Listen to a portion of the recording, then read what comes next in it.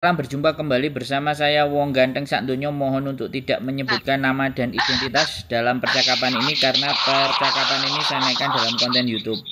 Gimana Mbak E sampai Iya. nanya apa? Iya, kan apa namanya saya itu juga kemarin nonton kontennya Mas Andro tuh yang apa namanya disuruh pindah pindahan toko itu loh Mas. Saya itu kerjanya di warung gitu. Terus apa namanya kan itu itu kan nggak boleh gitu ya Mas. Tapi waktu saya coba ngomong sama majikan itu katanya ya kalau nggak mau ya kamu pergi gitu katanya kan tapi maksudnya gini loh kan Mas Andro kemarin kan nanya sama mbaknya itu maksudnya majikan bisa bertahan maksudnya pantas untuk dipertahankan apa tidak kan seperti itu terus mbaknya kan bilang mamate itu juga seperti itu maksudnya juga baik juga biasa aja gitu loh mas tapi eh, konsekuensinya itu kalau diteruskan seperti apa sih mas Semen nanya persoalan itu kepada saya konsekuensinya kalau majikannya mamate diteruskan bagaimana? Enggak, maksudnya konsekuensinya kalau saya itu kerja di situ terus ketangkep gitu loh mas. Saya kerja di situ terus ketangkep. Ini saya mencerita dulu. Iya. Aku aku Oh iya iya iya maaf, referensi maaf, maaf. Begini, referensinya saya, sampai saya, kontenku tuh banyak sekali Iya, iya. dan aku sendiri kadang-kadang eh, orang yang ngomong itu nggak Iya, iya. semuanya tak inget 3000 mbak diinget-inget semuanya pecah Iya, kepala iya. saya mending iya, mending persoalan sampean masalah Iya. sampean apa yuk kita bicarakan di sini Ah. gitu loh maksud saya Iya iya iya mas, saya mulai ya gini, begini. Kan saya itu disuruh bantu-bantu kerja di warung gitulah, Siap. cuci piring seperti itulah. ya Iya. Terus kemudian itu apa namanya ya kan kan kadang juga ambil ambil apa keluar gitu kan mas. Takutnya juga diawasi seperti itu. Terus saya juga ngerti kalau itu tuh sebenarnya nggak boleh. Cuman saya nggak tahu konsekuensinya seperti apa. Yang yang saya takutkan itu kalau ternyata maksudnya ma- masuk penjara segala kan repot mas gitu. Terus kemarin kan saya juga ngomong kan maksudnya coba diskusi baik-baik sama majikan gitu. Eh, saya saya nggak bisa kerja di warung. Sebenarnya nggak setiap hari sih mas. Cuma seminggu berapa kali kadang cuma seminggu sekali seperti itu. Cuman kan kalau apes ya nggak ada orang yang tahu gitu mas gitu. Terus maksudnya kalau sampai ketangkep itu konsekuensinya seperti apa? Seperti itu loh mas. Saya juga takut-takut gimana gitu. Udah? Nah udah mas. Heeh, jadi masalahnya itu. Jadi masalahnya adalah sampean bekerja yang tidak sesuai kontrak. Nah tak sederhanakan seperti itu iya Sampean seperti itu mengerjakan sesuatu yang tidak ada di kontrak. Oke. Jadi kita bertanya, sampean bertanya tentang resikonya, tak jawab. Resikonya yang Iya. pertama begini, Mbak. Kalau tidak ada Iya. yang lapor itu tidak ada masalah. Yang yang Iya. khawatir adalah ketika ada yang lapor, kemudian ada misalnya polisi terus mencatat dan kamu kerja di situ. Polisi mencatat. iya Kalau hanya Iya. memperingatkan kamu melanggar nggak apa-apa. Tapi Iya. kalau ternyata diperkarakan sama polisi, polisi nggak mungkin akan Iya. memperkarakan. Yang memperkarakan bisa jadi tetangga sebelah yang punya Hmm, toko yang nggak iya. suka dengan tokonya majikan sampean. Nah, iya kalau dia yang pokeng, dia yang ngomong, polisi datang itu masalah, Mbak. Masalahnya di, di Ah. penjara atau tidak tergantung. Masalahnya di penjara atau tidak. Kalau dia hanya peringatan, terus sampean dikasih warning, terus dicatat, artinya Iya. sampean melanggar. iya Nah, pelanggaran itu adalah catatan yang penting buat sampean untuk ke depan kalau misalnya sampean ganti majikan dari itu. iya Apakah itu Oh. bisa, apakah itu nanti juga mempengaruhi turun visa atau tidak? Ada sebagian. iya Nah, di situ makanya karena yang tertera di dalam kontrak itu sudah jelas pekerjaan sampean yang ada yang ditulis di dalam kontrak. Bukan Iya, melebihi. Nah, ini saya kembalikan ke sampean. Kalau ternyata di situ Iya. ada nilai uangnya, kenapa nggak diambil? Itu kalau versinya sampean Iya. loh ya. Ya, Iya. Kalau versi hukum ya nggak perlu, nggak bisa. Tapi selama Iya. masih bisa majikan di kong kali kong, ya kan, dan sampean berhati-hati dan sampean mau ya, sampean juga harus siap menerima resikonya. Kalau persoalan penjara sih enggak menurut saya. Iya. Tapi lebih ke catatan rekod sampean Hmm. pelanggaran Iya, administratif gitu loh. Karena yang mangkel, yang benci itu bukan bukan sampai bukan majikan, yang melaporkan itu yang Iya. toko sebelah.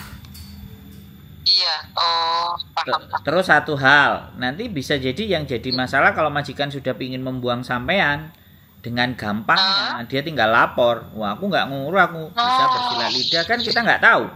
Karena saya nggak ngerti majikan Iya. sampean. Iya. Nah, makanya untuk melindungi diri pribadi sampean, sampean wajib berhati-hati. Iya. Resiko Oh. sampean yang nanggung, bukan saya. Saya hanya menggambarkan. Karena saya pernah ada Iya. yang cerita, dia bantu-bantu di situ, ada polisi datang nangkap. Iya, saya lihat konten itu, Mas. Nah, saya jadi takut. artinya kalau dia datang nangkap itu pasti ada yang laporan. Oh, iya, iya. Tidak mungkin polisi bertindak tanpa ada laporan. Kurang kerjaan. Hmm. Polisi Hongkong kerjaannya lebih Iya. banyak. Iya. Ya, kerjanya dia Iya, laporan, salah satunya. Iya. Begitu Mbak E. Nah, Iya. sudah sudah punya gambaran dari apa yang saya sampaikan. Sudah, Mas. Hmm. ya, bingungnya seperti itu, Mas. Apa mau pulang kayak gimana? Keadaan masih kayak gini, Mas. Tapi mau apa? Keluarkan masih beberapa bulan, Mas. Belum sampai setahun ini. Jadi kayak ganti majikan itu susah ya, Mas. Enggak, sampean komunikasi, sampean ngomong. Iya. Kalau sampean nggak mau loh, Ah. ini kalau catatan sampean nggak mau. Iya. Kalau sampean mau dan itu ada Iya. duit, itu udah di luar kua- kewenangan saya ya, di luar ranah saya berpikir ya. Iya. Ah, ah. Karena iya, sampean iya, sudah Mas. mau, saya cuma bercerita risiko kalau sampean milih itu. Sampean Iya. ngomong ke majikan, suruh baca kontrak. Iya. Dia juga sebenarnya bilang udah tahu ini beresiko dan maksudnya jangan bilang-bilang agent malah seperti itu. Ya, sampean ngomong, aku nggak bilang agent, aku nggak bilang siapa-siapa, tapi tetangga tokomu kan ngelihat aku kerja. Kalau dia pokeng nggak suka nggak suka sama kamu, nggak semua sama usahamu, aku gimana? Iya. Tolong dong pikirkan Ya. kita semua, ngomong kayak gitu ke majikan. Beres toh? Iya, kemarin saya sudah bilang mencoba bilang seperti itu, Mas. Maksudnya juga apa namanya saya tuh takut keadaan kayak gini gitu kan. Maksudnya apa namanya? Saya tuh mencoba menjelaskan gitu loh, Mas. Tapi dia cuma bilang, "Ya kalau kamu nggak mau ya kamu harus pergi." Aku tuh ngambil CC itu ya cuma buat ya intinya cuma buat bantu seperti itu kalau rumah itu saya bisa sendiri gitu bilangnya ke saya Oh ya sudah, sampean berapa bulan di situ? masih ah, baru habis potongan mas Nah, menurut sampean, sampean berani mengambil resiko itu nggak? Atau hati was-was? ya punya setiap hari setiap disuruh ke situ rasanya lemas Sampean lapor ke labor berani nggak? Tapi sampean harus Eh, dapat, sampean harus dapat kalimat itu tadi. Aku ngejeng kamu, aku ngejeng kamu, ya karena di toko nggak ngerjain di rumah. Nah itu bisa nggak dapat dia kalimat? bilangnya bukan bukan di toko bilangnya buat bantu itu kan persiapan di warung kan mas maksudnya buat dibawa di warung katanya buat persiapan yang di warung itu loh yang butuhnya gitu bukan buat di toko gitu Ya cuman sudah. kalau cuma masalah rumah sendiri aku mampu gitu katanya Ya sudah kan buat bikin persiapan di warung terus dianterin aja, tuh Hmm. kan dianterin. Sampean nggak kerja di situ Hmm, kan? Cuman nganterin-nganterin aja, nggak apa-apa, Hmm. dianterin aja.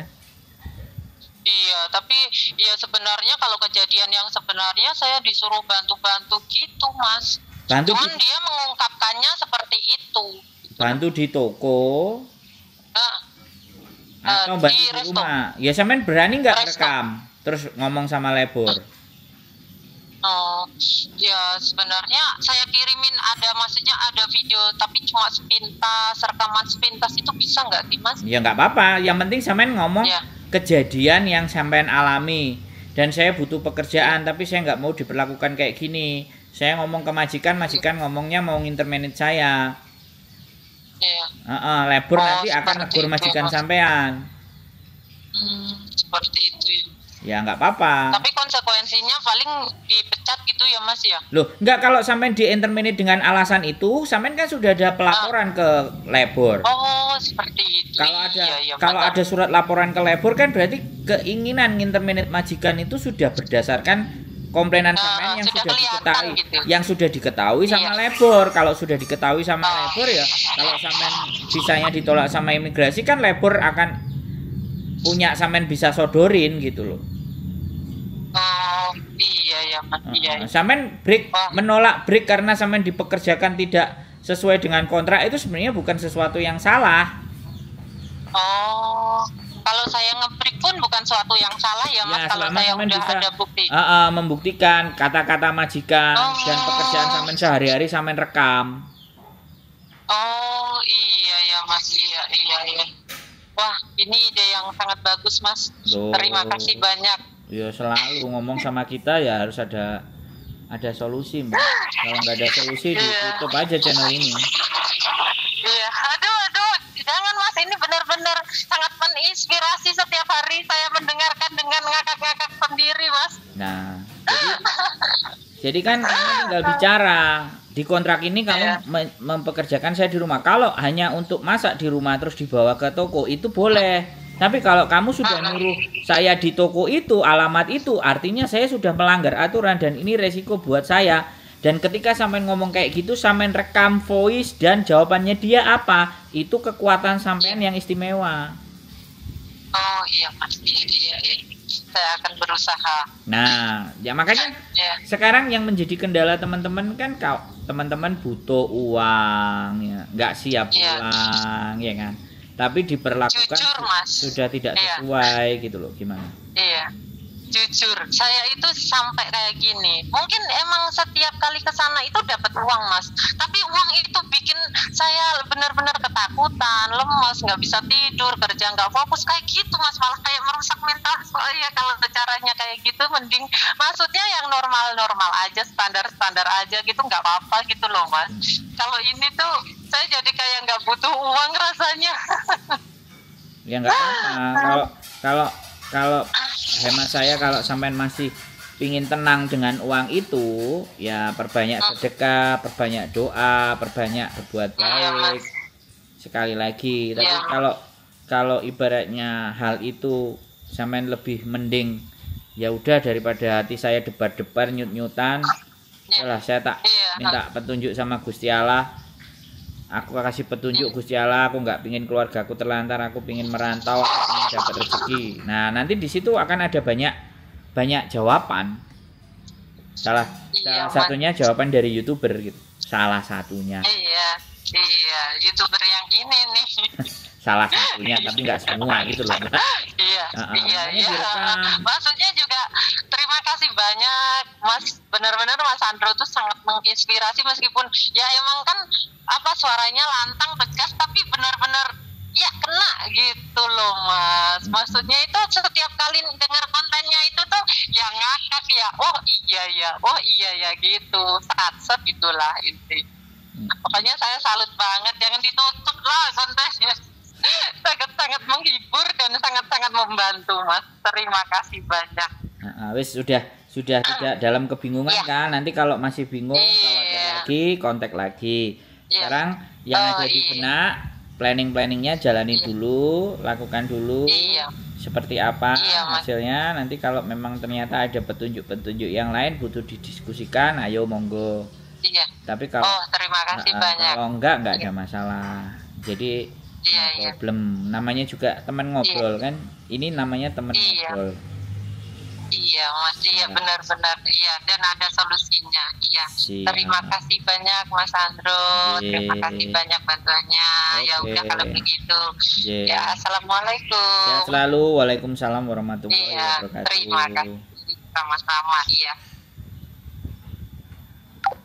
Oke teman-teman dipekerjakan majikan di warung atau di restoran dengan apa pun tidak perlu panik dan tidak perlu bingung.